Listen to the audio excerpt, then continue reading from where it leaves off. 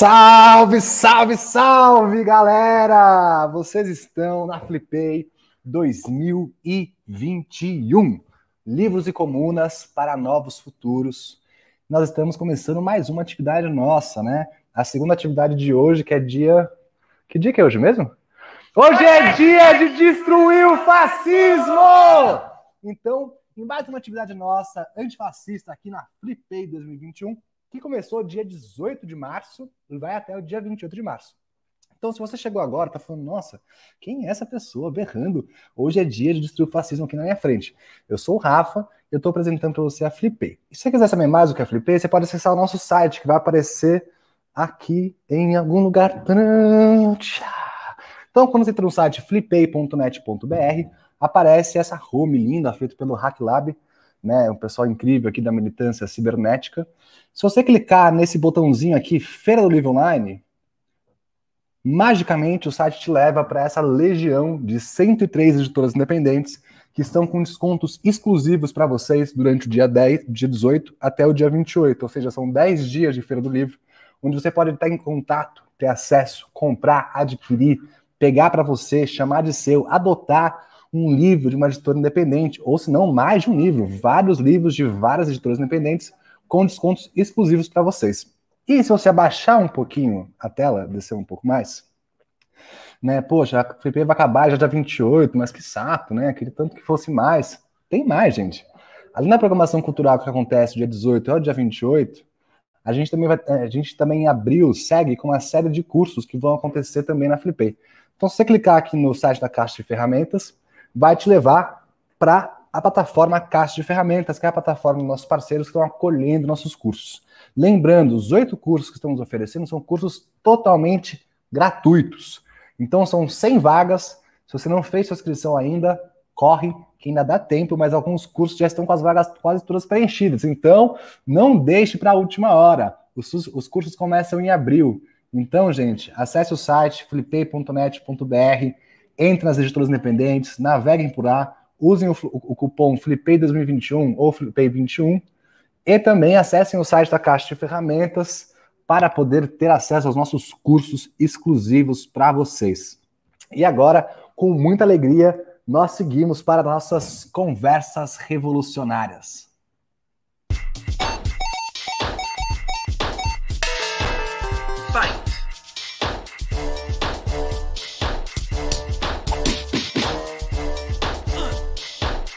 Win!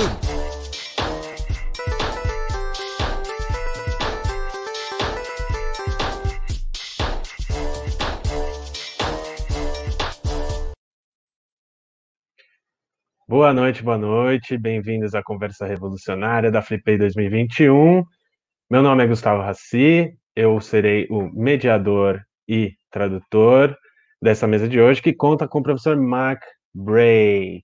Lembrando, como o Rafael falou, né, não esqueçam da nossa feira de livros, uh, contando com 25% de desconto nos produtos, celebrando, né, na Flipei, celebrando a Comuna de Paris, a gente tem todas as editoras trabalhando com títulos antifascistas, é, então fiquem ligados, não deixem de apoiar editoras independentes. Uh, hoje comigo hoje está o professor Mark Bray. Mark Bray é professor da Universidade Rutgers, professor de História Moderna Europeia, uh, e tem, dentre outros livros publicados uh, aqui no Brasil, Antifo, Manual Antifascista, publicado pela Autonomia Literária. E hoje o Mark vai falar conosco sobre uh, a luta antifascista pós-Trump. Hello. Olá, Mark. Bem-vindo. Welcome, Mark. Hi. Thank you um, for translating, Gustavo. Thank you to all the organizers for organizing this event. And thank you to everyone for tuning in on your Friday night. Obrigado à organização do evento, obrigado a todos por desconectarem aqui uma sexta-noite.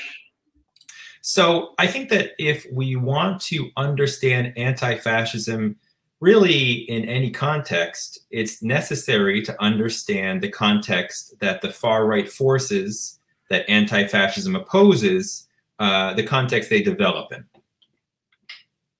Então, se nós quisermos entender o antifascismo, né, os contextos em que o antifascismo se constrói, é preciso entender uh, os contextos em que as forças que, às quais o antifascismo se opõe se desenvolvem.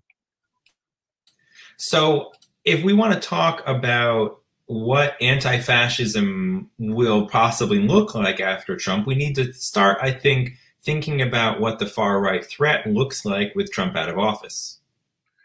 Se nós quisermos falar sobre como a luta antifascista vai se desenvolver, a gente deve falar sobre como uh, as forças fascistas vão se desenvolver também com o Trump fora da administração. as a little bit of background, I think it's worth bearing in mind that before Trump began his presidential campaign in 2015, anti fascism was not a point of focus for the American left over maybe the previous decade. Então, para começar, é bom a gente lembrar que antes da campanha do Trump para a presidência em 2015, é, o antifascismo não era o foco da esquerda, por pelo menos já havia 10 anos. And this renewed focus on anti-fascism, particularly among radicals, um, particularly anarchists and, and um, revolutionary communists, developed in response to the growth of the alt-right, uh, the alternative right, and the Trump campaign.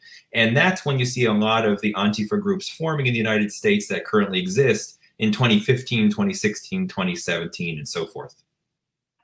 Então, é, o, fo o, foco renovado no antifascismo, particularmente da parte de anarquistas, é, estadunidenses anarquistas e comunistas revolucionários, vem como resposta ao desenvolvimento, né, ao crescimento da alt-right, né, da direita alternativa, uh, com a campanha do Trump, né, nos anos 2015, 2016, 2017 e daí em diante. And during the Trump presidency, there was a lot of debate um, in society about is Trump a fascist? Is he promoting fascism? And a lot of the arguments put forward by anti fascists that Trump and the politics he represents pose a grave threat, a lot of those arguments proposed by radicals were ignored by much of society. É, houve muita discussão em torno da ideia né, de, se, de se entender se o Trump era um fascista ou se ele propunha uh, políticas fascistas, é uma política fascista. E muito dos uh, uh, e o argumento por parte dos radicais de que o que ele estava oferecendo era uma grande ameaça foi ignorado. This shifted significantly with the, the Capitol insurrection of January 6, 2021. Isso mudou significativamente com a invasão do Capitólio uh, em 6 de janeiro de 2021 desse ano. Because then all of a sudden, these concerns about growing fascism, concerns about the violence of a growing far right threat were far more obvious and struck at what many centrists believe as, you know, the, the, the heart of the whole country. Porque a partir daí, uh, as ameaças, né, e, e o radicalismo da uh, dessa extrema direita ficou muito mais óbvio, uh, mesmo é, se expondo como aquilo que até mesmo centristas é, viam como um problema. But but it was a convenient timing, right? Because the Capitol insurrection happened um, two weeks before Trump left office, so it was an opportunity for mainstream journalists and pundits to say, oh, finally, I agree. There is a problem with fascism but conveniently he's leaving. So the point I'm making is right after acknowledging that it's a problem, they could conveniently say, but the problem doesn't exist anymore because Trump is gone. Mas isso aconteceu num momento muito conveniente, porque assim que acontece, que se reconhece, é, a, a, grande mídia, né, a mídia mainstream e, e, e, os jornalistas da mídia mainstream usam esse oportunidade para dizer: ah, sim, realmente reconhecemos que ele é um fascista, mas agora o problema já não existe mais, porque ele está saindo uh, da presidência. Então é muito oportuno para reconhecer o problema, mas ao mesmo tempo dizer que ele não que ele deixou de existir com a saída do Trump da presidência. And the Capitol insurrection showed a lot of the hypocrisy at the heart of Trumpism. E a insurreição né, do Capitólio mostrou grande, do, grande parte do problema que está no centro do trumpismo. Because many analysts have convincingly argued that the the aesthetic of this new Trumpist fascism is Blue Lives Matter. Porque muitos analistas mostraram que a estética desse novo é, fascismo trumpista é a de Blue Lives Matter, né? De vidas azuis, da vida dos policiais importa. And so the, the the logo of Blue Lives Matter, which of course is a response to Black Lives Matter and an effort to delegitimize Black Lives Matter, uh, the the image is the American flag, all in black and white except for one blue stripe. Então, a, a, o, a logo, né, a imagem uh, do Blue Lives Matter, que é uma resposta evidente ao Black Lives Matter e uma tentativa de deslegitimar o Black Lives Matter, é a bandeira estadunidense, toda em preto e branco, à exceção de uma faixa horizontal em azul. And so the way that the, the right wing has attempted to discredit Black Lives Matter is arguing that it's anti-police. Um, and certain factions of, of Black Lives Matter movement are police abolitionists. But the irony is you have these supposedly Blue Lives Matter right wingers attacking the Capitol Police and even killing one. É, e o argumento de que o Black Lives contra o Black Lives Matter é de que eles são contra um movimento contra a polícia. E evidentemente, parte do Black Lives Matter é pede a abolição da polícia. Mas ironicamente, você tem as pessoas que defendem essa ideia da vida do Blue Lives Matter é, atacando o Capitólio, inclusive matando um policial. And one of the the most absurd um, uh, things that came out of the insurrection is that some right wingers argued that actually it was really done by Antifa. E uma das coisas mais absurdas que acontece com a insurreição do Capitólio é, são pessoas de extrema direita dizendo que na verdade aquilo foi promovido por antifas. But beyond the absurdity of that, what it shows is that there were certain factions of the right that wanted to embrace the Capitol insurrection, and then there were other factions that wanted to distance themselves from it. Mas para além desse absurdo, você vê que tem uma parte da direita que quer se, se colar à insurreição do Capitólio e uma outra parte que quer se distanciar uh, dessa insurreição.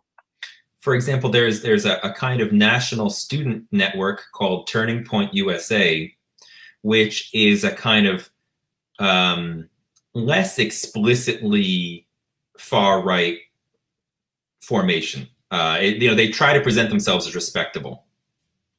Por exemplo, tem uma organização nacional estudantil estadunidense chamada Turning Point, né, ponto de virada, que quer é, se disfarçar, né? mesmo sendo de extrema direita, eles querem se apresentar de forma mais uh, apresentável, eles querem ser mais polidos na sua apresentação. And leading up to this uh, demonstration, they organized buses of protesters to go to DC. They, they were one of the key players and mobilized for this event. But once the insurrection occurred, they deleted their tweets, they disowned the event, and tried to really back out because they were concerned that the insurrection would hurt their ability to present a kind of more mainstream far right politics. E eles foram uma, uma peça principal na mobilização das pessoas para a invasão do Capitólio. Eles, eles é, fretaram ônibus para levar as pessoas para Washington, mas quando acontece, eles começam a, a, apagar as evidências, apagar os tweets dele, com medo de que é, eles se distanciassem dessa imagem mais mainstream, But there were other more explicitly fascist groups, Proud Boys, that saw it as a real win for them insofar as they could, through their, their physical force, impact the government. Mas também tinha outros grupos, como o Proud Boys, uh, que viu isso como uma grande oportunidade para impactar o governo, impact, causar um impacto através, inclusive, uh, da força física. Now, of course, Trump was very supportive. He was very excited, right? He he announced as it was going on, "You people are beautiful. This is great." And this is, of course, in the context where Trump was saying that the election had been stolen without any evidence. E evidentemente o Trump é, deu um grande apoio para isso. Ele falava, né, isso é lindo, vocês são ótimos. É, e claro, no momento em que ele havia perdido as eleições e acusado a eleição de ser fraudada sem nenhuma evidência. But after some time went by and his lawyers spoke to him, uh, Trump backed off a little bit, right? He, he distanced himself a little bit from the insurrection. Mas depois de um tempo, depois de se consultar com seus advogados, o Trump se distanciou um pouco da, da invasão, né, da, do ato insurrecional. Ele, ele, ele tentou se distanciar daquilo. Um, and um, so what this suggests is that there was a bit of a kind of um, point of inflection in the right wing movement around the capital insurrection. And, and, because what I mean is it shows that there's a faction of the right that has given up on the American government as a vehicle for promoting their ideas. And there's a faction that wants to hold on to some semblance of mainstream respectability. É, e isso gera um ponto de inflexão dentro da direita, porque o que você tem é uma parte da direita querendo se distanciar dessa, dessa, dessa invasão, e uma outra parte que quer se colar a, a ela, né, enquanto uma parte está achando que está tá se, tá se distanciando da, da invasão, né, por não reconhecer mais o governo como um, meio de viabilizar as suas necessidades, a outra está tentando se colar à invasão é, como uma forma de manter uma certa respeitabilidade uh, mainstream. But despite that, excuse me, despite that distinction, the the the the the far right in recent years has increasingly given up on attempting to establish an independent street presence and has instead, in much of the country, attempted to sort of infiltrate from within the ranks of Trump supporters. É, mas apesar disso, o que se observa também é que, por um tempo já, a extrema-direita tem deixado de lado a sua atuação na rua, a sua presença nas ruas, em ação nas ruas, e tentado se infiltrar na sociedade por meio uh, da infiltração dentro do próprio governo Trump e dos seus apoiadores. But I, I use the word infiltrate, but I don't want to suggest that there's a clear difference between the far right and your average Trump supporter. Um, there may have been a clearer difference uh, between an average Republican and a far right um, figure back 20 years ago. Increasingly, those lines have blurred.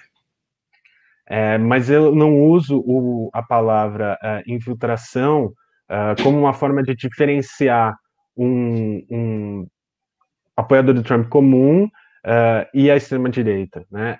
É, tem, tem havido uma distinção menor em relação a isso nos últimos 20 anos. Você, havia uma diferença entre um republicano comum e alguém de extrema-direita. Já não é mais o caso, no caso dos apoiadores do Trump e do fascismo. And one of the factors that has contributed to this blurring is the QAnon conspiracy. Is that something known in Brazil? Yes. É, uma, das, uma, das, uma, uma das questões importantes para isso tem sido as conspirações do QAnon, né, a rede de, de anônimos com interesse da conspiração. Um, and so Trump is gone, at least as far as being in office. Um, and so for, for much of, for many liberals, this was the end of the story. that this supposed aberration in the history of American democracy had been expelled. And so it goes, we don't have to be so concerned anymore. Então, para todos os efeitos, o Trump se foi, né? E o argumento dominante liberal é que essa, essa, essa aberração, entre aspas, da história americana não é mais motivo para preocupação. But as I've been suggesting, because of the increased blurring between the lines that used to more clearly separate far right from right, because of the influence of the QAnon conspiracy, uh, because of the success of Trump's unconventional politics, Trumpism is persisting beyond Trump. Mas o que eu o que eu estou sugerindo é que por causa desse, dessa falta de diferenciação né, de, de uma diferença que já não existe mais entre a, a extrema-direita, né, o trumpismo, e uma direita convencional, uh, o trumpismo está indo, está continuando para além do próprio Trump. So you have figures like Marjorie Taylor Greene in the House of Representatives, who loves Trump and has made such outlandish claims as um, forest fires being caused by what she called Jewish space lasers. Uh, I'm not even sure I know how to translate that. Sorry, Mark.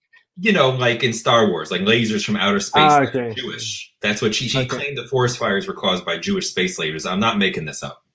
And what's her name again? Sorry. Marjorie Taylor Greene. Então, há, há essa, mulher, essa, essa representante da, da Câmara estadunidense, Marjorie Taylor Greene, que, por exemplo, diz que uh, há, uma, há um ataque de lasers do espaço que são judeus, na verdade. tipo de teorias da conspiração do QAnon. Eh, she she also, for example, argued that um, one of the tragic school shootings never happened and it was a, a hoax. Uh, it was fake. E ela também disse que um daqueles trágicos tiroteios em escolas nos, nos Estados Unidos nunca aconteceu, foi um boato, era, era fake. And she's she's not alone. There, there are many politicians in the Republican Party who don't believe in climate change, are outwardly xenophobic and racist, are anti-trans, are are COVID skeptics. E ela não está sozinha nisso. Há diversos políticos no Partido Republicano que não acreditam em é, na, na, crise climática, que são é, é, não acreditam na, na Covid, é, são abertamente xenofóbicos é, e racistas. Say quick hello to Cassio, um, but you know, on the face of it, it would seem like this white reactionary politics is less and less important because the country is becoming less and less white, less and less conservative, less Christian. E dá-se a entender que essa, esse tipo de é racionalidade, né, é, que é suprema é, é branca, né, de certa forma supremacista branca, é cada vez menos importante à medida em que o país vai se tornando cada vez menos branco, cada vez menos religioso.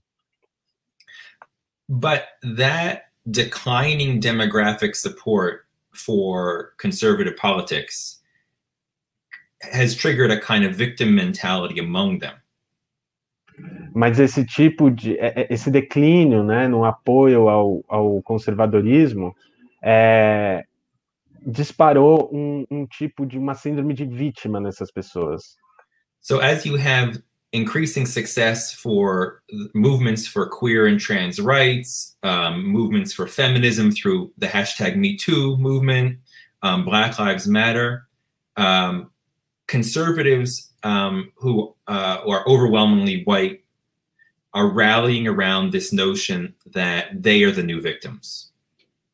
À medida que você vê um sucesso crescente é, na luta por direitos queer e trans, dos movimentos feministas através da hashtag MeToo, do Black Lives Matter. Uh, esses conservadores que são majoritariamente brancos estão criando essa narrativa de que eles são as novas vítimas. And, and the kind of ludicrous um, far right talking point of white genocide, this notion that white people will become the victims of genocide if they are outnumbered, is a way to kind of encapsulate this victim mentality and this fear. Então há um, um, a criação de um discurso de uma ameaça de um genocídio uh, da população branca, caso a população branca se torne numericamente menor, o que dispara e alimenta esse tipo de medo. Um, and so if you combine this victim mentality, you combine the QAnon conspiracy, which suggests that the United States government is being controlled by liberal Hollywood pedophiles and is no longer uh, accountable to the people. And this significant demographic shift away from a quote unquote traditional America, you can you can start to understand where the far right and increasingly much of the right in general is coming from. Então, se você combinar todos esses momentos, né, a ideia de essas ideias que já foram ditas de um genocídio branco, a ideia de que o país está sendo governado por um, um, pedófilo de Hollywood que não se responsabiliza pelos seus atos, essa mentalidade de vítima, você tem o desaparecimento daquilo que, entre aspas, se chama de América tradicional. Né? E, e, mais as conspirações que o Anon, que dão, que, dá, que dão a entender da onde está vindo essa direita e para onde ela quer ir. and they're heavily armed. E eles estão altamente armados. Um, and so um, there's a term uh, Matthew Lyons is um, I'll, I'll, later I'll post a link to, to his book. Um, I'm not sure if it's in pub uh, published in Portuguese. Published a book called Insurgent Supremacists. Há um livro de um, de um professor Matthew Lyons. Uh, ele vai passar o link depois. uh, chamado. What's the name of the book, Mark? Sorry? Insurgent Supremacists. Insurgent Supremacists, uh, Supremacias Insurgentes. Mm -hmm.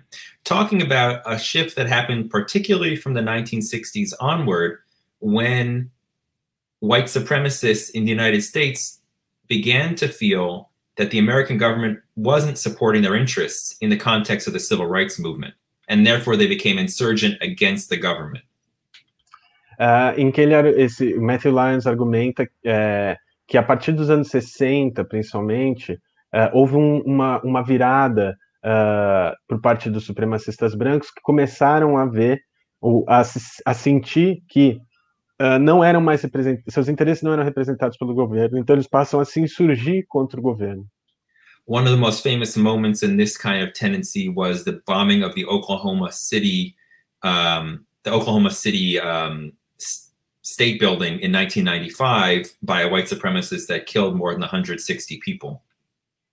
Um dos momentos mais significativos de, de, desse momento, é, desse, desse período, é a explosão no, no prédio público de Oklahoma uh, que matou 100, 100 pessoas.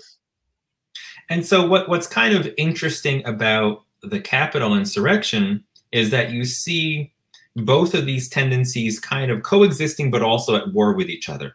The tendency towards seeing the US government as irreparable, as being lost to Jews or black people or whoever the enemy is, and therefore an enemy, and the other side of kind of trying to work within the system with Trump as kind of the key to that, key to clearly the key to both. E o que a insurgência contra o Capitólio mostra é, é uma mudança nessa tendência, né? Em que você tem uh, essa extrema-direita tanto vendo o governo como irreparável, como algo perdido para eles, quanto, por outro lado, pessoas tentando se infiltrar uh, pelo próprio governo, né, pelos próprios mecanismos do Estado. Uh, e o Trump, no fim, é a chave para essas duas tendências que estão, a princípio, em guerra com, uma contra a outra. Now, as far as anti-fascist responses to, to these phenomena, it, it is certainly true that for a lot of liberals, the, the level of concern they have is much lower with Trump out of office. É, quanto às respostas é, do, do, do, antifascismo, né, é, existe uma questão que é para os liberais. Os liberais têm, muito, de fato, muito menos a se preocupar com Trump fora da presidência. Nevertheless, the, the profile of anti-fascism in American society has really increased significantly in recent years. And I argue that the anti fascist movement has succeeded in promoting certain concepts into society at large. No entanto, a despeito disso, é, o movimento antifascista estadunidense tem sido bem sucedido em é, é, aparecer mais na sociedade e conseguir introduzir certas questões uh, a serem discutidas na sociedade como um todo. One of those concepts is, is the concept no platform for fascism. Um, um, um desses conceitos é o conceito de nenhum palanque para fascistas. Previously, the, the, the dominant American perspective was that, um, uh, yeah, I see a shout out to Matthew Lyons' book. I'm, I'm glad, I'm glad you like it. Um, so one of one of the important things for understanding the No Platform for Fascism slogan is that prior to the last few years, many Americans, even many American leftists, believe that you um, defeat fascist and racist ideas by allowing them to flourish and hoping that people will realize they are wrong. Uh, e uma das coisas que vinha acontecendo nas, na sociedade estadunidense por muito tempo, antes dos, desses anos recentes, é que a esquerda acreditava que você deveria permitir que os fascistas viessem adiante e tivessem uma voz, uh, esperando que pelos seus próprios absurdos, eles perecessem, sumissem. But in recent years, not only the influence of anti-fascism, but the influence of what has come to be called cancel culture. Is that a phrase that's known, right?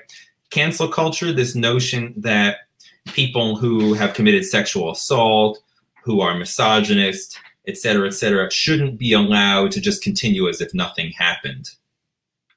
É, Deve-se muito a isso também à cultura de cancelamento, né? Com a ideia de que uh, pessoas que cometeram, por exemplo, abusos sexuais não devem ser permitidas de continuar e fazendo seguindo sua vida como se nada tivesse acontecido. Um, so these this notion that we can't just let the far right present its ideas and ignore it or treat it as any other differing opinion that notion has become um, much less influential Então, a noção de que uh, nós não devemos silenciar os fascistas, que eles devem falar, se tornou uh, muito menos uh, presente The other notion that has been become more generalized is the notion of self-defense against the far right. Outra noção que se tornou também predominante é a noção de autodefesa contra a extrema direita. Now, this has all happened in the context of the Black Lives Matter movement and the increased profile of police and prison abolitionism coming out of the Black radical tradition. E isso aconteceu também muito por conta do movimento Black Lives Matter e do aumento uh, da, da vigilância né, por parte das, uh, das suas policiais sobre antifascismo e sobre os movimentos uh, negros. So, so the basic Antifa argument that we can't ignore the far right, we need to prevent them from expressing their politics, we need to be ready to defend ourselves, and we can't trust the police to stop them because they're part of the problem. That combination of points has become much more popular than than the past decades. Então, a premissa básica do, do uh, Antifa, né, de que nós não devemos uh, dar espaço aos fascistas e que nós não podemos confiar na polícia porque eles fazem parte desse sistema, se tornou uh, muito presente, muito mais presente do que há uma década, por exemplo. And so I don't want to go on for too long because I want to hear your questions. So I'm going to just try to wrap up. But, but the, the kind of general direction that I see things going in is as follows. Bom, então não vou me alongar muito porque eu quero ouvir as perguntas de vocês também, mas eu vou tentar é, resumir isso e o ponto ao que eu quero chegar da seguinte forma.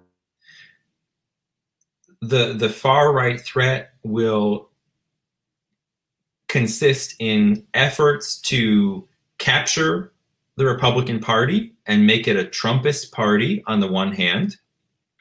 Então, uh, o, o, a extrema direita vai tentar, como estratégia, capturar o Partido Republicano e tornar o Trumpismo a sua ideologia. And at the same time, but not necessarily always in conflict, efforts to discredit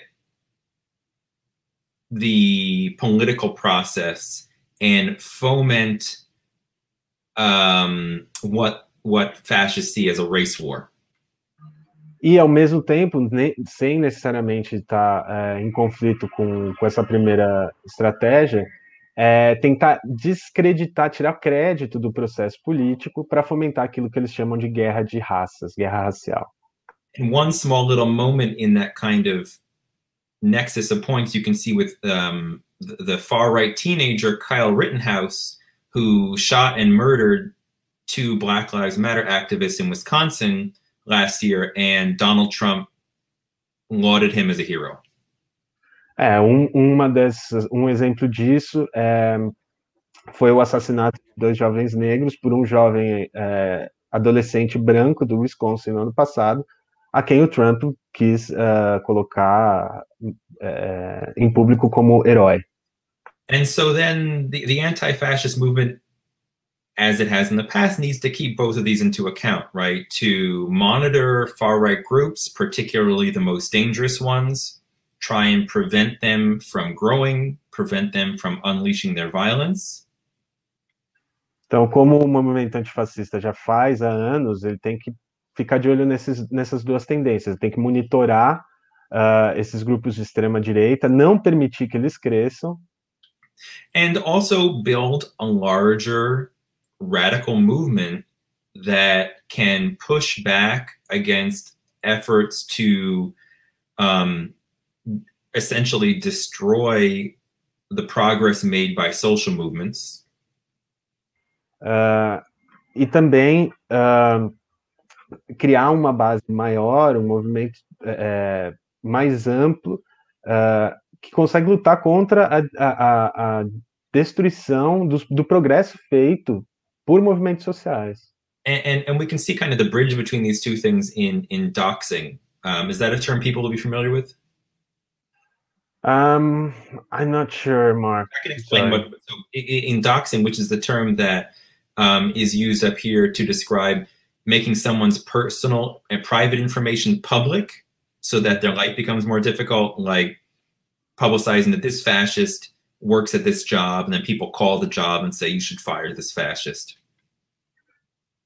Então tem uh, métodos como doxing, que consiste em publicar informações pessoais de pessoas né, de extrema direita. Então, por exemplo, é, denunciar publicamente um fascista, mostrando aonde ele trabalha, o que ele faz, e, portanto, submetendo ele a, a processos públicos. Né? And that's been arguably the most successful anti-fascist tactic in the U.S. recently, but it only works if, number one, the politics of the person that's being doxxed are not popular enough for their political identity to be uh, a liability. So, in other words, there has to be something exceptional about them or no one will care.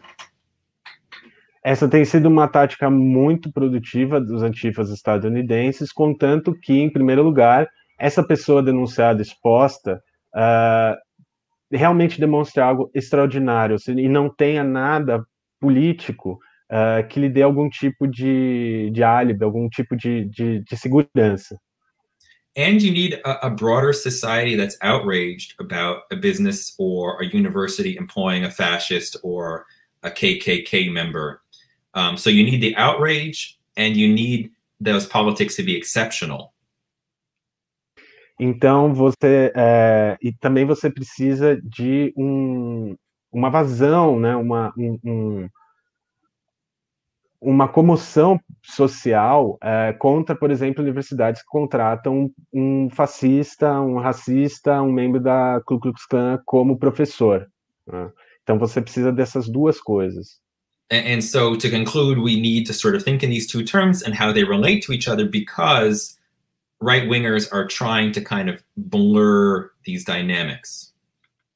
Então você precisa pensar nesses dois sentidos, porque o que a direita está tentando fazer é, é, é embaçar essa, o limite entre essas duas, entre esses dois movimentos. Okay, so maybe um, we can take some questions. Um, Gustavo, do you want to throw sure. some my way?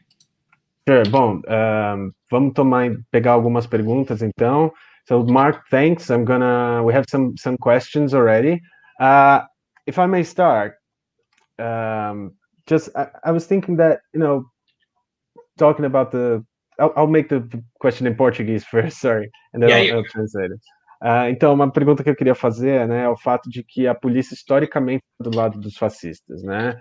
É, então, como a polícia pode auxiliar a manutenção, como pode não, como ela auxilia a manutenção uh, do fascismo. No Capitólio, por exemplo, a própria polícia abriu a barreira para a entrada uh, daquelas pessoas que estavam ali.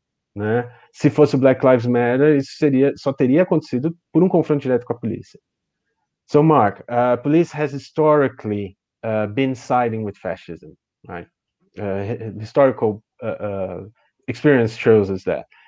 How does police force auxiliates in the maintenance of fascism itself? like in the capital insurrection, um, for instance, police allowed people to come in. If it were a Black Lives Matter activists manifesting, this would only be done by direct conflict. Right, and and that's not a point that was lost on anyone. That was that was commented on by many people. Um, so there, there's so much to say about this, um, but I'll just say a few things. Então, esse ponto da polícia estar tá ali participando, né, ter ajudado na invasão do Capitólio, não passou da vista de ninguém. Muitas pessoas comentaram sobre isso. Mas eu vou fazer dois comentários. So, we need to think about the police as em embodying histories and systems.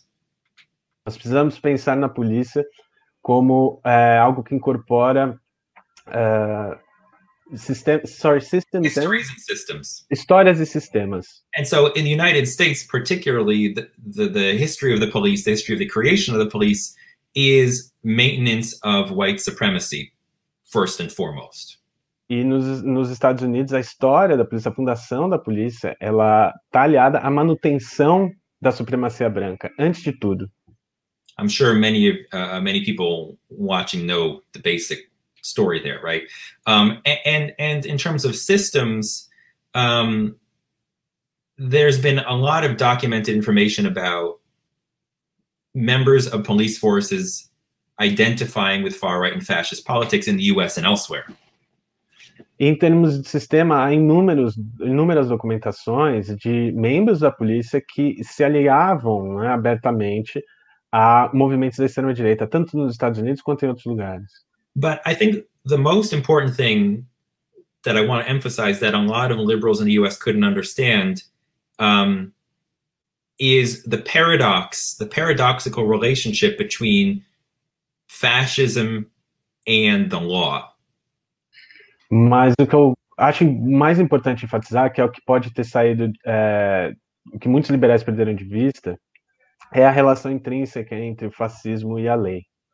Because a lot of commentators said, "Oh my gosh, how could these people who claim to um, how could how could Blue Lives Matter supporters do something illegal, or how could police who swear to uphold the law say, "Hey, people, come illegally enter these offices"?" Porque teve muita gente dizendo, "Oh meu Deus, como é que pode que as pessoas é, é, que defendem a lei fizeram algo ilegal, ou muitas pessoas né, que defendem essas vidas azuis, é, pessoas, né, essas vidas azuis falaram, ah, podem, podem vir entrar aqui no, no salão oval da presidência.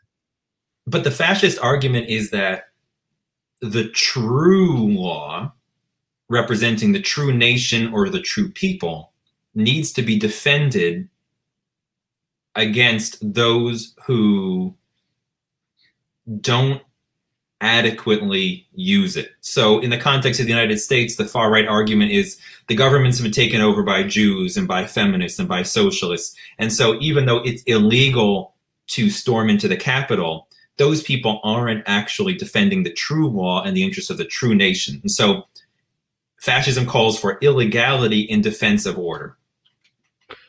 A questão é que a, o argumento fascista sobre a lei é de que a verdadeira lei, a verdadeira nação, a verdadeira lei, a verdadeira nação que se liga a ela devem ser defendidas. É, portanto, na narrativa fascista, uh, aqueles que estão ali, né, se colocando, não representam essa verdadeira nação, essa verdadeira lei. É, porque são, em geral, uh, judeus, feministas, ou quem quer que seja o inimigo. Né? Portanto, eles não são a verdadeira nação. Então, o fascismo lança a mão da ilegalidade para mover uma pretensa defesa de uma verdadeira lei. And and the final comment on that is that police can serve as a key key inflection point because they can selectively enforce or not enforce laws in defense of what they view as the principles behind those laws. E a polícia é um ponto de inflexão porque eles podem de decidir é, contra quem, né, é, é, é, contra quem eles estão defendendo a lei. E isso está de acordo com a visão que eles têm é, sobre o que basila essa lei. Tanto ele é seletivo a quem eles vão defender ou não. Can move on, take another question. Okay, cool. Uh, so next question is by um, Juliana. I'll read it in Portuguese and then and then we'll say it. Uh, we actually we have two connected questions. I think they're connected. So Como você avalia o fascismo em países como o Brasil, agora sem o Trump na retaguarda? Eles tendem a enfraquecer ou perder o controle? É, e a pergunta a, ligada a essa da Patrícia é como você vê a situação atual do Brasil. So Juliano asks, uh, how do you how do you evaluate fascism in countries like Brazil now that Trump's Trump's out of office? Uh, do they tend to to weaken or to lose control, for instance? And connected to that is a similar question by Patricia. Uh, how do you see the current situation in Brazil? Right. So I'll, I'll, start out talking about the notion of sort of what happens when these kinds of authoritarians and fascists are, are out of power. Então, eu vou começar uh, falando um pouco sobre a noção de, de, do que acontece quando esses fascistas saem do poder. Obviously, the, the, the main historical examples um, of Hitler and Mussolini, I mean, they ended up dead. Obviamente, os, os maiores exemplos históricos são Hitler e Mussolini, e os dois acabaram mortos. Um, but it's important to understand that fascist or fascistic politics entail a kind of um, continual need for moving forward for a kind of re continual re-radicalization. So the Nazi regime, you can see over the course of its 12 years of life, continually radicalizing. And in the context of Trump, there was also, I think, the effort towards the end to just continue to hold on to power. Uh, there's an inability to sort of uh, stay still. É, mas o que é importante notar nos movimentos fascistas é que eles têm uma constante necessidade de re-radicalização, de sempre se radicalizar. Isso aconteceu nos 12 anos do nazismo no poder, e com Trump também, no sentido de que é, houve a escolha de não abrir mão daquela posição de poder. Um, and, and so, all is to say that they don't go out of power gracefully. Então, meio que para dizer que eles não, não saem do poder assim, graciosamente ou de graça, fortuitamente. and that we can't limit our view to the the, the, the strong man exclusively, although it is important to get those people out of there. Um, but recognize what are the social, economic um, contexts that propel them to power, because if those aren't addressed, then you'll just get another strong man. Então não basta somente é, tirar o homem forte ali que está no poder do poder, uh, embora isso seja necessário, mas entender o contexto social e econômico que fazem com que esse homem chegue lá, né? É, porque senão o que você vai ter é daqui a pouco uma, um outro homem desse tipo chegando no poder. And so, although I'm, I'm no expert on Brazil, um, my academic focus is on Europe. Um, I'm sure that you would all agree that if the reasons Bolsonaro came to power are not addressed, you, you may find yourself with another Bolsonaro after Bolsonaro. Embora eu não seja especialista em Brasil, porque eu trabalho com história europeia, eu acho que todos vocês vão concordar que se nós não entendermos os processos que levaram Bolsonaro ao poder, logo mais o Brasil tem outro Bolsonaro. We can take another one. Um, let me just check. There's one. Um, Today, most intellectuals from the far Brazilian far right live in the USA, like Rodrigo Constantino or Olavo de Carvalho. I don't know if you know them, but they're friends with Steve Bannon. Mm. Uh, do Antifas in the US know that? Do they have any any knowledge of that? And do you think uh, do they think that um, Brazilian fascism, Bolsonarism, uh, is more radically fascist than Trumpism? So American anti-fascists, I think, are well aware that there are these transnational links and that Steve Bannon is at the center of many of them. Então, é, eu acho que os, os, os, antifascistas estadunidenses sabem que há essas ligações transnacionais uh, fascistas e que o Steve Bannon está no centro deles. And and you know, people are cognizant that you know Trump and Bolsonaro have influenced each other, and that these kinds of figures look to their peers in in the uh, authoritarian leader department. E as pessoas estão cientes de que Bolsonaro e Trump, né, têm relações e olharam essas pessoas olham para seus próprios pares nessa esfera uh, do autoritarismo. As far as you know, which is worse, whether Bolsonaro is worse than Trump or Bolsonarismo worse than than Trumpism, um, I, I think there's a general understanding that even if there, there are, you know, elements of degrees of worse, that the, the, bigger picture is that these are facets of the same kind of enemy. E independentemente de saber quem é pior ou não, se o bolsonarismo ou o trumpismo, é importante e, e ter ciência de que isso são, de que ambos são, é, representam a mesma faceta de um inimigo comum. Né? Um, but the other thing to kind of throw in is that I think also militant anti-fascism is not just about opposing these people, but also having a, a structural critique of the kind of authoritarian capitalist society that gives birth to them. E é, uma coisa que o, é, a militância antifascista tem que ter em mente não é só uh, opor essas figuras, mas tem em mente uma crítica de todo o sistema capitalista autoritário que permite a emergência desses tipos. Okay? Last one, Mark, is that okay? Yeah. Okay. How do you see autonomous spaces like Capitol Hill um, wanting restorative justice? Because in Brazil, uh, restorative justice was um, developed by the judiciary system itself. I'm just not familiar enough um, with that specific Brazilian context. Um, right now in the US, in response to the Capitol riot, um, you have the FBI arresting many of the rioters. É, eu não tô muito, não conheço muito desse, de, é, dessa questão em particular no Brasil, mas o que aconteceu nos Estados Unidos após a invasão do Capitólio foi o FBI prendendo muitas das pessoas que estavam ali. Although many of them have not been arrested. Ainda que muitos deles não tenham sido presos. And and we're back in the familiar position of liberals being cheerleaders for the FBI while um, radicals refuse to see them as allies. E o que a gente tem é a figura tradicional dos liberais sendo animadores de torcida para o FBI, enquanto os radicais se recusam a ver é, a vê-los, o FBI, como aliados. Okay. You might have time for one more if, if, if the program. Time, there's there's yet another one. Yeah, uh, this was made in in, in Portuguese, um, in English. Sorry, I'll translate it and then I'll jump into English. Um, pergunta do Cássio: os fascistas vão uh, se enraizar no sistema mesmo sem Trump? Ou o Trump deve tomar de volta o controle das redes?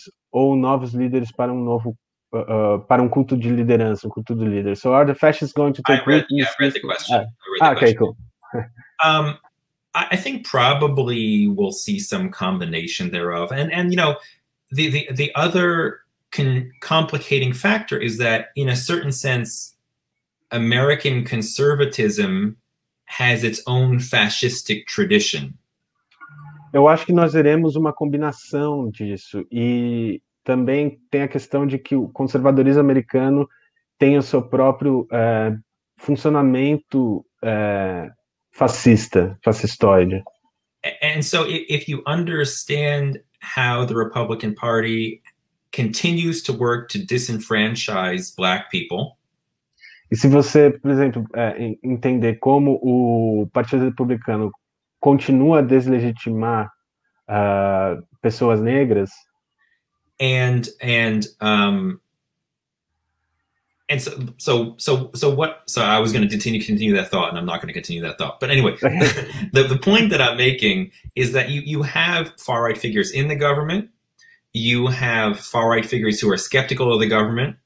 Um, and there is space for a new Trump, or even possibly Trump has has casually mentioned the possibility of running again in 2024. É, bom, ele ia continuar um argumento, mas ele não vai, não continua mais.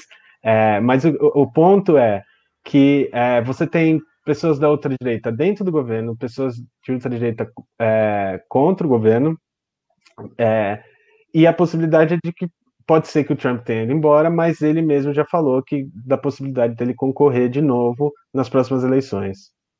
Um, and so I think that it, it's become bigger than Trump. Um, the question is, will the Republican Party be Trumpism moving forward, or will it look different? Um, and uh, that matters, but I'm not sure if um, the last part don't even bother translating.